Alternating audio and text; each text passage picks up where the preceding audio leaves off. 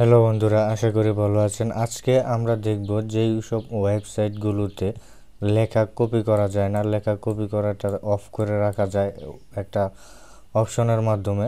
তো আমরা কীভাবে যে কোনো ওয়েবসাইটের লেখাগুলোকে কপি করতে পারি? যে ধরেন এই ওয়েবসাইটটি, আমি যে ওয়েবসাইটটি এখানে ওপেন করে রেখেছি, এই ওয়েবসাইটটির কোনো লেখাই কিন্তু কপি করা যাচ্ছে না। দেখতে পাচ্ছেন, আমি এখানে ক্লিক করছি। বাট এখান থেকে কিন্তু লেখাগুলো কপি করা যাচ্ছে না।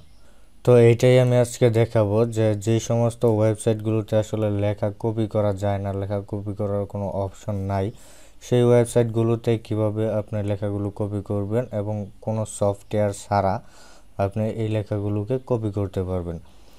তো এর জন্য আমাদেরকে যে কাজটা করতে হবে, এই কাজগুলো করা হয় একটা জাভা স্ক্রিপ্টের মাধ্যমে।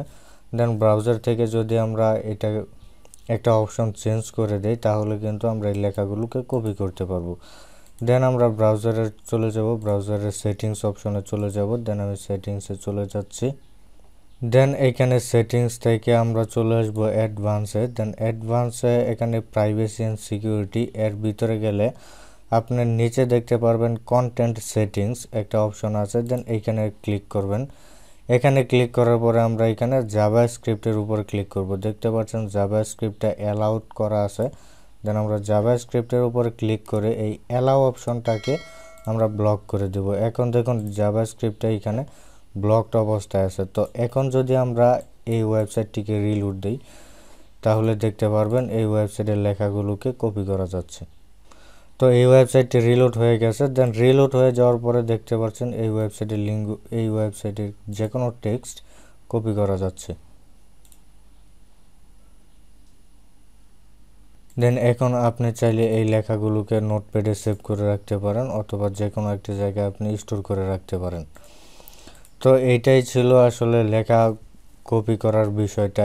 এই অপশনটি আসলে লেখা যাতে কপি করা না যায়, এটা আসলে করা হয় একটা জাভা স্ক্রিপ্ট কোডের মাধ্যমে। যখন আপনি এইখান থেকে এই জাভা স্ক্রিপ্টটা ব্লক করে দিবেন, তখন আর এই জাভা স্ক্রিপ্টটা কাজ করবে না, তখন আপনি যে কোনো ওয়েবসাইট থেকে এই লেখাগুলোকে কপি করতে পারবেন। আবার যদি এখানে জাভা স্ক্রিপ্টটা আমি অ্যালাউ করে দিই দেন অ্যালাউ করে দিয়ে যদি আমি এখানে রিলুট দিই, তাহলে দেখতে পারবেন যে এখান থেকে কোনো লেখা কপি করা যাচ্ছে না। পেজটা রিলোড হয়ে গেছে দেন এখন কিন্তু এইখান থেকে আর কোনো টেক্সট কপি করা যাচ্ছে না।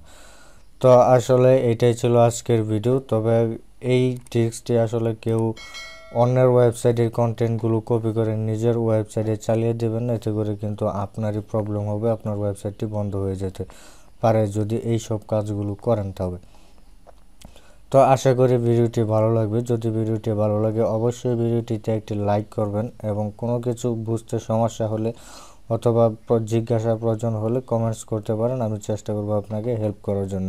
আর অবশ্যই ভিডিওটি বন্ধুদের সাথে শেয়ার করবেন। ধন্যবাদ।